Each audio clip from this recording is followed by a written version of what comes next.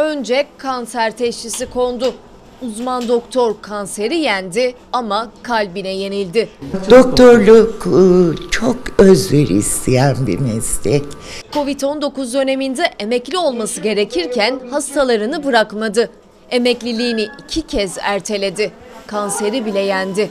Bir doktor değil, hekim olmak için çok uzun bir zamana ihtiyacınız var.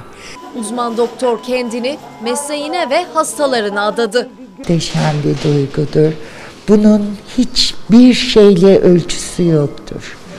O bir annenin çocuğunu tekrar kucağına vermek, bir e, hanımefendiye eşini geri vermek, e, çocuklara anne ya da babalarını teslim etmek.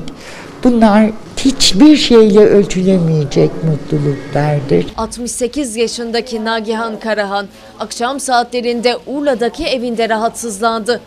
Yakınları tarafından hastaneye kaldırılan ve kalp krizi geçirdiği belirlenen Karahan kurtarılamadı.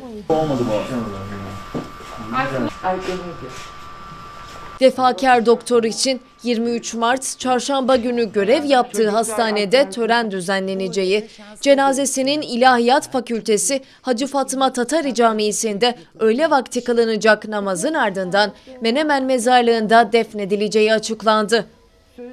Karahan geçen yıl 14 Mart Tıp Bayramı'nda İzmir'de yılın hekimi olarak seçilmiş, ödülünü Ankara'da düzenlenen törende Cumhurbaşkanı Recep Tayyip Erdoğan'dan almıştı.